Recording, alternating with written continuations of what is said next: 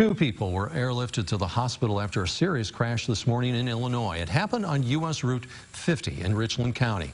Illinois State Police say a motorcycle tried to pass a semi-truck that was turning onto a county road. But police say the motorcycle struck the semi. The people on the motorcycle, 31-year-old Caleb Cochran and 41-year-old Jamie Wilkin of Clay County, Illinois, were airlifted to the hospital with life-threatening injuries. Police say the road was closed for about an hour for an investigation.